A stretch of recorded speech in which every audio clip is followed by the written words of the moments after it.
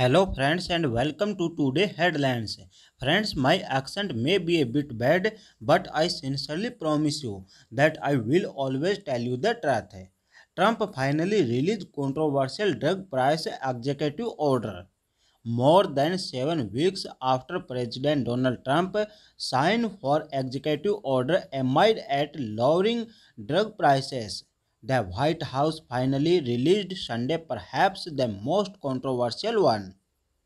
It called for Medicare to test paying the same price for certain expensive prescription drugs that other developed countries do a most favored nation price.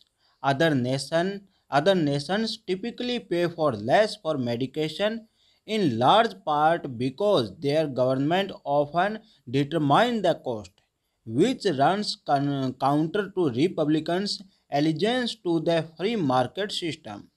Though Trump has slammed socialist healthcare system that exist in other countries and attacked his democratic rivals for seeking to implement such a setup here.